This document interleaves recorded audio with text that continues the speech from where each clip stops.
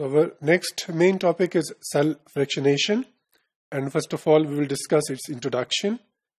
Uh, so this uh, cell fractionation is a process in which cells and tissues are ruptured so that we can separate uh, these cells and tissues to study uh, different organelles and then to study structure, chemical composition and functions of those organelles.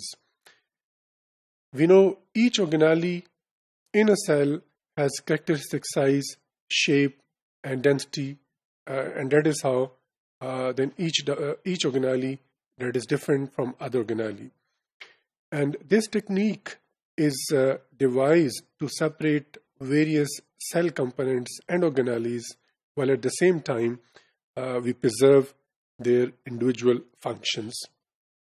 Then it allows to study different parts of a cell in isolation.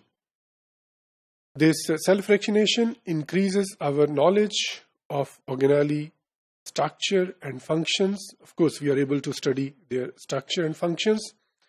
For example, uh, it was determined uh, that a cell fraction was rich in enzymes uh, that function in cellular respiration. And this fraction later on uh, was found to be rich in mitochondria, and in this way, it was found that they, this fraction was involved with cellular respiration, and how this is how mitochondria and their functions were discovered.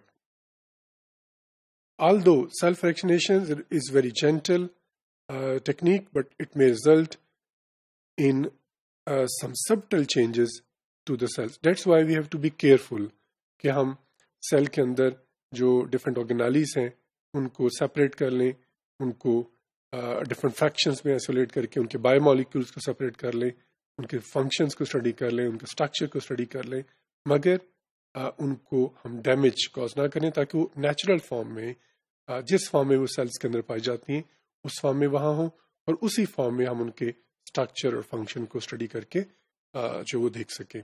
तो जहाँ हमने cell के different components को isolate करना होता है organelles को isolate करना होता है वहाँ हमने ये भी ख्याल करना होता है उस प्रोसेस के दौरान उनको डैमेज ना हो और इस तरह हम नेचुरल फॉर्म में उनको स्टडी कर सकें।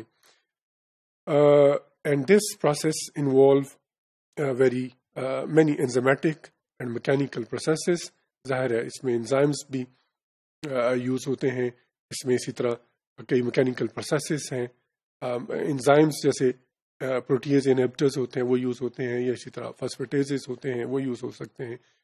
और मैकेनिकल प्रोसेस में सेल्स को रप्चर किया जाता है उनको सेंटिफ्यूज किया जाता है उनको फ़िल्टर किया जाता है। तो ये जो सारे प्रोसेस होते हैं इनमें ज़ाहिर है सेल्स को सेल के डिफरेंट ऑर्गेनालिस को हमने सेपरेट करना होता है बायोमोलिक्यूल्स को सेपरेट करना होता है जबकि हमने उनके इंडिविजुअल जो स्ट्रक्चर होते हैं उनको डैमेज नहीं करना होता उनको मेंटेन रखना होता है।